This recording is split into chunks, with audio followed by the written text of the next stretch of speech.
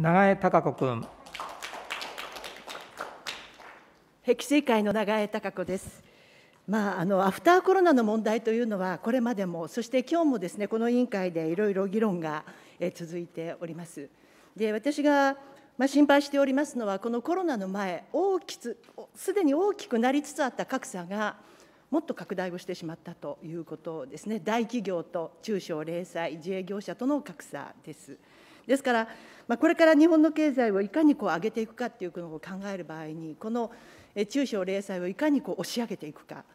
それを考えていくことがとても重要だなというふうに思っています。その観点から、今日もデジタルプラットフォーム、それから 5G 法案、いくつか質問させていただきたいと思います。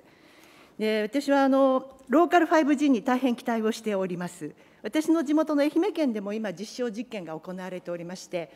造船、船を作る現場で使われておりまして、危険できつい仕事をサポートするのに役立っております。で先日の、中原参考人の実証実験では、牡蠣の養殖場で使われているという例が紹介されまして、第一次産業の現場で、やっぱり高齢化、人手不足など、地域の課題解決に資するものだなと期待が大きくなっております。ということは、このローカル 5G を大企業の中だけで使うのではなくて、地方の中小企業が使える、使いやすい、恩恵を被ることができるように支援することが重要で、その展開の障害となっているものをクリアしていく、環境づくりを進める、これが重要だと思っています。で、ハードルその1としては経済的な問題があろうかと思うんですが、えそれをクリアする方策の一つがこの法案だというふうに理解はしているんですけれども、えー、と午前中も、えー、斉藤委員から指摘もありましたように、これ、税額控除っていうことは、大企業ではいいかもしれないんですけれども、中小企業の場合はですね、これやっぱり赤字覚悟で臨んでいく先行投資の事業であろうかなとも思いますので、どれだけインセンティブが働くかっていうのはちょっと疑問かなとも思っておりますし、ハードルその2、マンパワーの問題が大きいんではないかなと思ってます。え、よく事業が成功するには人物金が重要だと言われますが、やっぱりあの地域での事業推進の主体をいかに作っていくかということ、人の問題は大きいと思います。こういったソフト面での支援の方はいかがお考えでしょうか？総務省大臣官房赤澤審議官。お答え申し上げます。えー、ローカル 5G でございますが、あのご指摘いただいたように農業、製造業、観光業などで地域課題の解決に寄与するということで、え、地域でのローカル 5G との事業主体を創出していくことは大変重要な課題だと考えております。あの令和2年度から総務省ではあのご案内のとおり、ローカル 5G 等を活用したさまざまな地域課題を解決する上での有効なユースケースを創出するための開発実証に取り組んでおります。でこの開発実証によりまして今後ローカル 5G 等の活用方法導入効果等をガイドブックとして取りまとめて具体例をお示しすることなどによりまして地域でローカル 5G 等を活用する事業主体の創出につなげてまいりたいと考えているところでございます。またあのご指摘いただきました等にソフト面それから人材面での支援というのが大変重要だというふうに考えております。あの総務省では要望のある自治体に対し地域情報化アドバイザーを派遣するという事業をやっておりまして、えこの地域情報化アドバイザーの中にローカル 5G 等の活用にこの地域情報化アドバイザーに、えローカル 5G 等の活用に関する助言や情報提供というのをこれからも派遣することによってやっていきたいというふうに考えているところでございます。いずれにいたしましても、総務省としましては、こういうこの開発実証とか、地域情報化アドバイザーの派遣といった取り組みを通じまして、ローカル 5G 等の普及促進に向けて、しっかりと取り組んでまいりたいと考えております永井君。はいあの午前中の総務省の答弁を聞いておりまして私ちょっとああそうなんだと思ってちょっと残念に思ったのがですねまず実証実験20どっかでやるということを決めてその請負業者を決めるんだというようなやり方であ一緒に地域と一体になってこの事業をこう根っこからこう押し上げ作っていくって言いましょうか。というのとまたスタイルが違うんだなと。やっぱりトップダウンの方式なんだなというふうなのがちょっと残念に思いましたやっぱり地域ごとに課題も様々ですしそれを解決するようなスタイルは地域の人と一緒になって考えていくのが一番なのでぜひ自治体とあるいはその地域の大学とですねうまい連携の関係を作ってですねえこのマンパワーを作っていくっていうことを忘れなく進めていただきたいなと思っています。それからこれもですね、えっと、ずっと委員のえ先生方からもご指摘がありますように認定システムについて重ねてのお願いも、えあるんですけれども審査の仕組みなどはやっぱり透明性が重要ですよね大臣。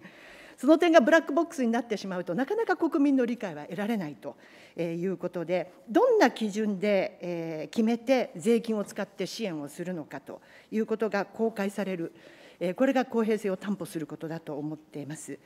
でそれも曖昧な項目でなくて、しっかりと誰もが分かりやすくて、明瞭で納得できる基準項目が示されていることが重要と考えますが、その点は大丈夫でしょうか？西山局長。お答えを申し上げます。あの委員から今ご指摘のございました、この特に 5G についての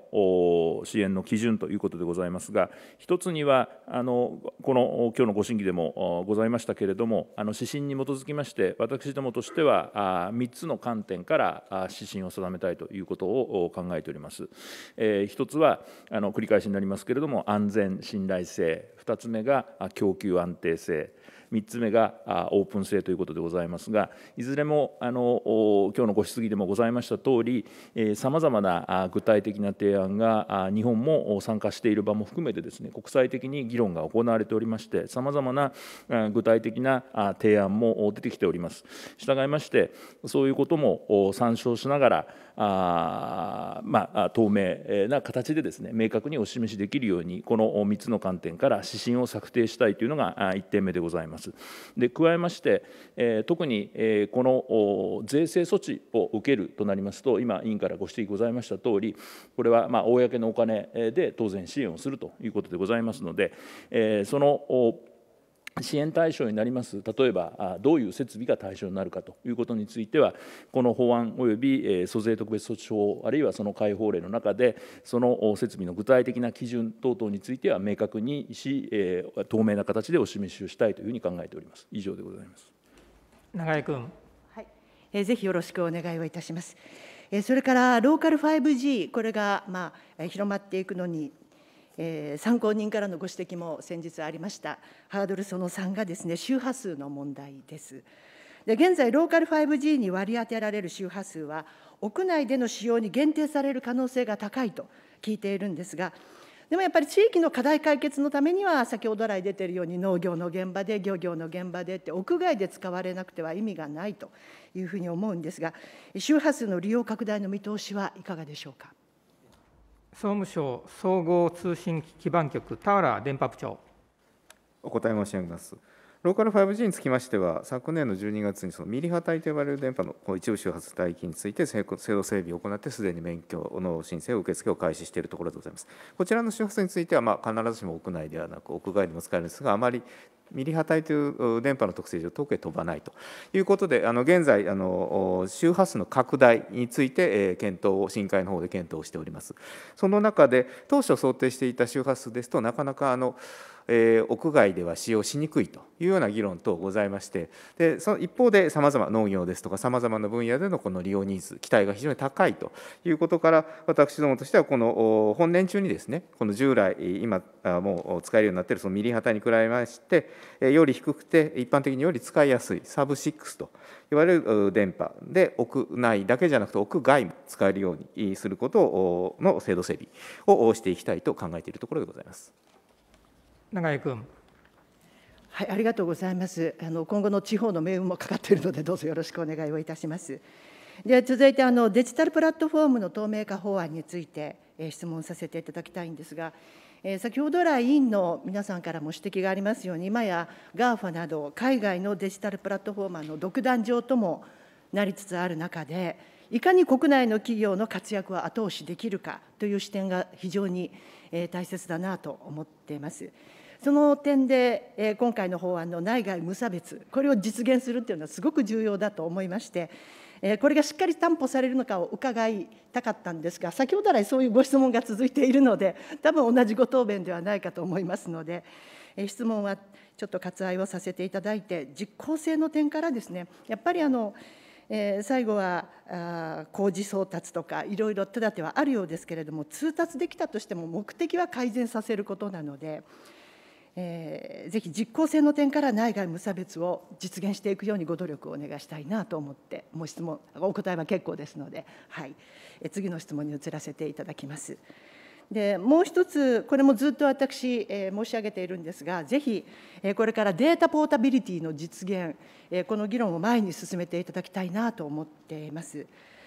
で参考人の質疑でも、現段階ではこのデータポータビリティが認められたとしても、現実的にまあ個人情報を移動させるっていうことは難しいと、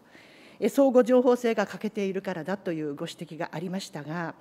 これやっぱりあのロックを外さないとスイッチは入らないなというふうに思っています。ですからデータの移動は個人の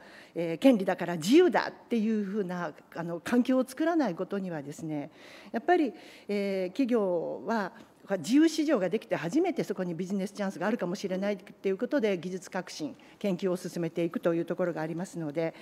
えやっぱりこれをまずは実現を向けて進めていただきたいなと。今、巨大デジタルプラットフォーマーが市場を独占して、そして我が国の個人情報も独占しつつあるという状況でありますので、なんとか隙間を作らないと、日本のデジタルプラットフォーマーが、あるいは新たな、えーチャレンジが生まれてはこないと思います。ですから、その競争を促す仕組みとして、データポータビリティっていうのは資すると思うんですが、大臣のお考えはいかがでしょうか？梶山大臣。あの委員ご指摘のデータポータビリティの権利は、EU の一般データ保護規則において、企業などに提供しました個人データを機械的に処理可能な形で受け取る権利、技術的に可能な場合に、自らの個人データをある企業から別の企業に直接移行させる権利。として定められておりますけれども、実務的課題などもあり、EU でも広く活用されている状況にはまだ至ってないと、まあ、承知しております。委員ご指摘のとおり、このようなデータポータビリティの仕組みについては、個人が自らの個人データをコントロールする観点から大変有効でありまして、まあ、競争を促進する効果もあるとの評価がある一方で、個人データを保有している企業にとっては、実務の負担や別の企業に個人データを移行する場合の技術的課題などがあり、国際的にもさまざまな議論が行われ、また検討が行われている状況が現状だと思っております。まあ、こうした中で、個人情報保護委員会でも検討が行われ、今般の改正個人情報保護法案では、データポータビリティの権利としては導入していないと聞いております。経済産業省としても関係省庁と連携し、データポータビリティの在り方を含め、データの利活用を促進する施策について、まあ、検討してまいりたいと思いますし、データの重要性というものは十分に認識した上で、えこういうものの検討をしてまいりたいと思っております。永井君。やっぱり公正な競争の場を作らないと、新たなチャンスは生まれてこないといいましょうか、企業の研究、技術開発も進んでいかないというところがありますので、ぜひ前向きにご検討いただきたいと思っておりますし、それだけじゃなくて、こういう機会にやっぱり個人情報の扱いですとか、そういったことを日本の企業風土の中にもしっかり位置づけるっていうことがですね、これからやっぱり国際的な場で成長していくにも重要な観点かと思いますので、ご検討いただきたいなと思っております。以上で質問を終わります。